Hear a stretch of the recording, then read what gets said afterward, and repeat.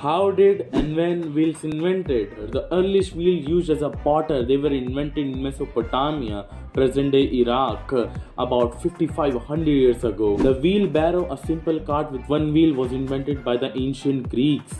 Also, the fact is that wheel described as a, one of the greatest invention of all time. Follow 90D history for more amazing content like this.